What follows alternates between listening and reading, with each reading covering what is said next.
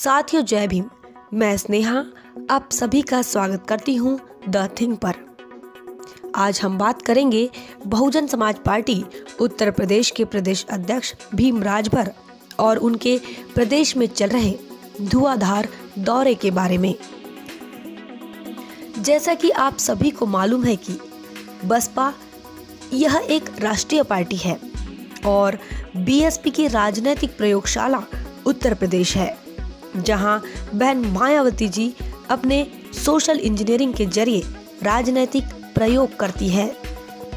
बहन मायावती जी ने जब से भीम राजभर इन्हें उत्तर प्रदेश का प्रदेश अध्यक्ष बनाया है, राजभर इन्होंने दिन रात एक कर दिया है और खाक छान रहे हैं उत्तर प्रदेश के कोने कोने की। ओबीसी समाज, दलित समाज। मुस्लिम समाज का भाईचारा बनाने का काम कर रहे हैं। कभी गाजीपुर, कभी सहारनपुर तो कभी गोंडा तो कभी गोरखपुर।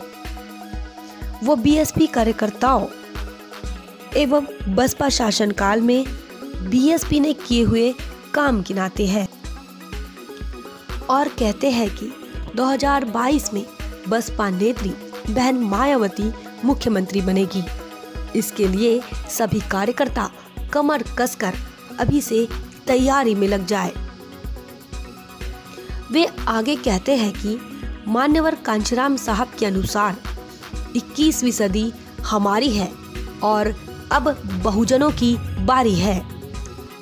ओबीसी समाज के हज़ारों लोग उनके कार्यक्रम में आकर बहुजन समाज पार्टी से जुड़ते जा रहे हैं। भीम राजभर इनके काम से विरोधी खेमे में हलचल मची हुई है। यह एससी ओबीसी और मुस्लिम भाईचारा 2022 तक टिका रहा तो सच में 2022 में बीएसपी की ही सरकार बनेगी, ऐसी आहट आने लगी है।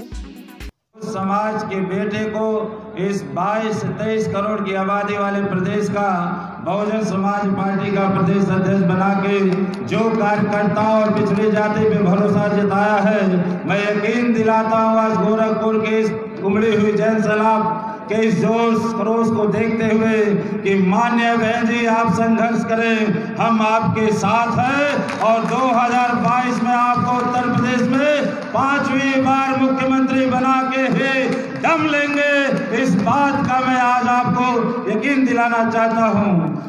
बने रहे द थिंग के साथ। आपको यह वीडियो कैसा लगा कमेंट करके ज़रूर बताएँ।